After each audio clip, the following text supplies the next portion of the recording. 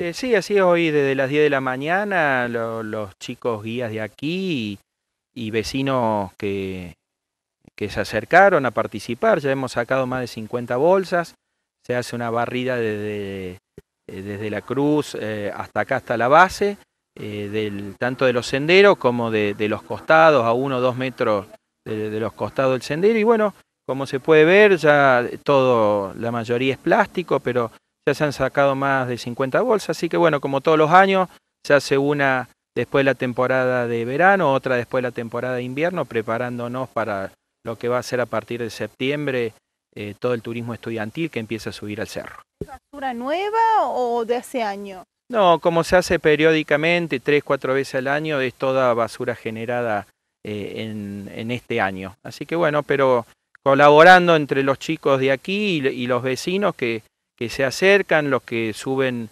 diariamente también han colaborado y, estamos bajando eh, mucha basura que hace que, limpiemos y mantengamos eh, el espacio siempre lindo. ¿Sorprende que sean bastantes bolsas siempre?